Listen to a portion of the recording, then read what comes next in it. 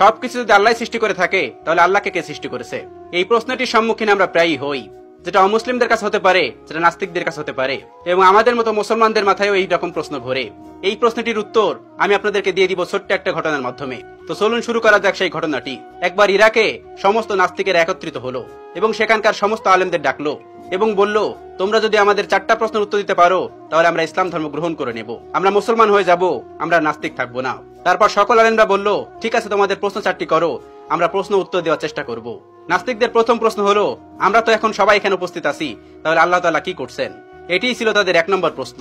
তাদের দুই নম্বর প্রশ্ন আল্লাহ তালা গোটা পৃথিবীকে কিভাবে পরিলক্ষিত করে কিভাবে তিনি গোটা পৃথিবীকে একা পরিচালনা করেন একা দেখা তো সম্ভব না তিনি কি করে একা এগুলো পরিচালনা করেন এটি ছিল তাদের দ্বিতীয় প্রশ্ন তাদের তিন নম্বর প্রশ্ন মুসলমানদের নবী হরজত মোহাম্মদ সাল্লাহ আলিয়াল্লাম মিরাজে গিয়েছিলেন পৃথিবীর এই আর্নিক গতি ভেদ করে আসমানের কোন দরজাতে তিনি আসমানে প্রবেশ করলেন এবং আল্লাহর সঙ্গে দিদার করলেন এটি ছিল তাদের তৃতীয় প্রশ্ন এবং তাদের সর্বশেষ প্রশ্ন আল্লাহ তালার আগে কে আল্লাহ তালাকে কে সৃষ্টি করেছেন এই ছিল তাদের মোট চারটি প্রশ্ন সেখানে থাকা সকল আলেমরা উত্তর দেওয়ার চেষ্টা করলো কিন্তু কেউ সৎ উত্তর দিতে পারলো না কারণ এই প্রশ্নগুলি খুবই কঠিন প্রশ্ন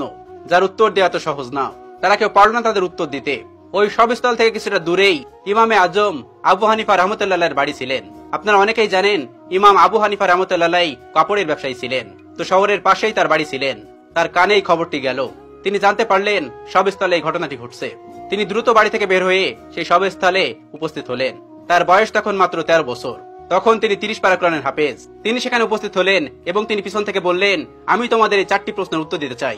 সবাই সেখানে অবাক হয়ে গেল এই ছোট্ট বাচ্চাটি এই কঠিন কঠিন প্রশ্নের উত্তর দেবে অবাক হয়ে তাকে ডেকে নিল এবং বলল তুমি আসো তিনি বললেন আমি তোমাদের এই সকল প্রশ্নের উত্তর দিব সবাই রাজি হলেন তিনি বললেন প্রশ্ন কে করবে একজন দেখিয়ে দিলেন ওই যে মঞ্চে বসে আছেন উনি প্রশ্ন করবে চেয়ারে বসে থাকা ওই লোকটিকে আবু হানিফা রহমতুল্লাহ বললেন তুমি যখন আমাকে প্রশ্ন করবে তখন তুমি আমার ছাত্র আমি তোমার শিক্ষক তাহলে আগে তুমি আমাকে ওই চেয়ারে বসতে দাও আর তুমি নিচে দাঁড়িয়ে আমাকে প্রশ্ন করবে উদ্ভট হলেও এটি তারা মেনে নিয়েছিল আবু হানিফা রহমতাল্লাহ চেয়ারে গিয়ে বসলেন এবং এই নাস্তিকটি নিচে এসে প্রশ্ন করল প্রথম প্রশ্নটি ছিল এরকম যে আল্লাহ তালা এখন কি করছেন আবু হানিফা রহমতাল্লাহ তীক্ষ্ণ বুদ্ধি সম্পন্ন একজন মানুষ ছিলেন আল্লাহ তালা তাকে অনেক একমত দিয়েছিলেন অনেক জ্ঞান দিয়েছিলেন তিনি উত্তর দিলেন আল্লাহ তালা এই মুহূর্তে তোমার মতো বেকুবকে চেয়ার থেকে নামিয়ে আমাকে চেয়ারে বসিয়ে দিয়েছেন এটি ছিল এক নম্বর প্রশ্নের উত্তর সবাই অবাক হয়েছিল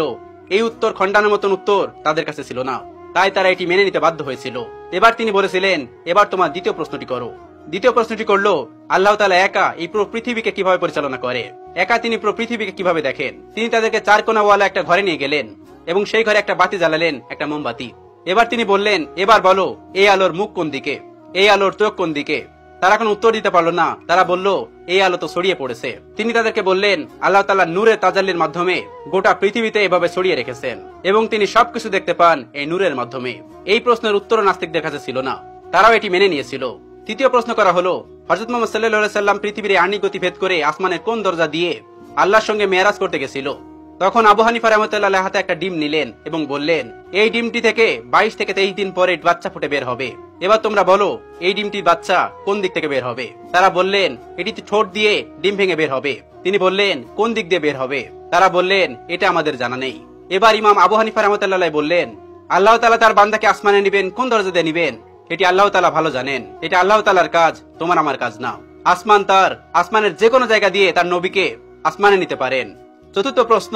যেটি সব থেকে গুরুত্বপূর্ণ আল্লাহ তালাকে কে সৃষ্টি করেছেন আল্লাহ তালার আগে কে ইমাম আবু হানিফা রহমতুল্লাহ বললেন তোমাদের মধ্যে কি এমন কেউ আছেন যিনি অনেক ভালো অঙ্ক করতে পারে তখন একজন বললেন হ্যাঁ আমি পারি তখন তাকে বলল তুমি এক থেকে গুনতে শুরু করো তখন সে গোনা শুরু করলো এক দুই তিন চার পাঁচ ছয় সাত আট নয় দশ দশ পর্যন্ত গোনার পর আবু হানিফা রহমতুল্লাহ তাকে থামিয়ে দিলেন এবং তাকে বললেন এবার তুমি উল্টো দিক দিয়ে গোনা শুরু করো তিনি গোনা শুরু করলো নয় আট সাত ছয় পাঁচ চার তিন দুই এক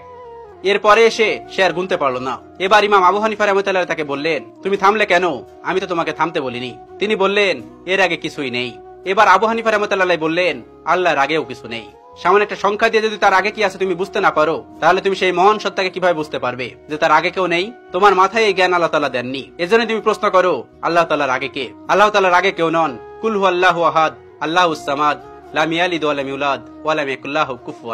তিনি এক এবং একক তাকে কেউ জন্ম দেননি তিনিও কাউকে জন্ম দেননি তিনি শাশ্বত চিরন্তন তার আগে পরে কেউ নেই এই ছিল আবু হানিফা রহমতাল্লাহ প্রজ্ঞা এবং জ্ঞান যেটি দিয়ে তিনি পৃথিবীকে আলোকিত করে রেখেছিলেন তার জ্ঞান দিয়ে এখনো তার কিতাব তার দর্শন দিয়ে মানুষ ইসলামকে পরিচর্যা করে আল্লাহ তালা আমাদের